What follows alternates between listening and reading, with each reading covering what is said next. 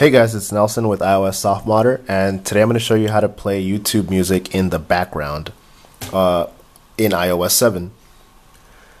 So currently YouTube doesn't allow you to play music in the background. Uh, this is a feature that a lot of people have been wanting YouTube to implement onto their device, and currently it's looking as good news because Android is uh, the next version for their YouTube application is going to have that feature. Uh, no word on Apple yet, but you know I'm crossing my fingers. But till then, uh, there's other ways you can get around that and play uh, YouTube music in the background. So the first one, there's going to be two of them. The first one uh, deals with the YouTube application. So if you don't have it downloaded, download it.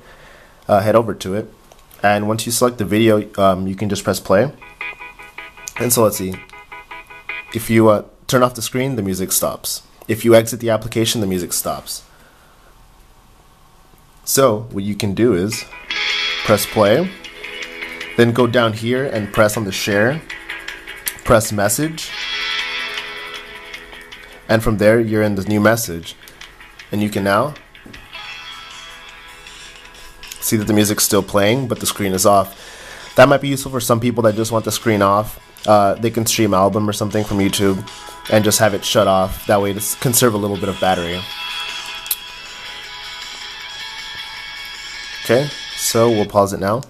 Now the second way, which is my uh, preferred uh, way of doing it, is not by using the YouTube application, but by using a web browser. So I'm going to use Safari. From there, if you press play, you can see that the video is playing. I'll fast forward a little bit. So when you exit, it stops. But if you bring up the notification menu and press play, it's playing directly and you can see here that this is from YouTube. So from there you can feel free to go around on your device and your music still plays. So I can check my Instagram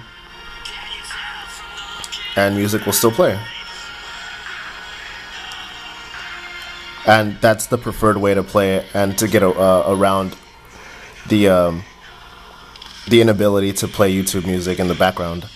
Uh, if you go back to Safari, you'll still see that the video is still playing. And yeah, all right, that's it. Thanks, guys. Don't forget to like, comment, subscribe, and check out the full tutorial over at iOS Softmodder. All right, thanks.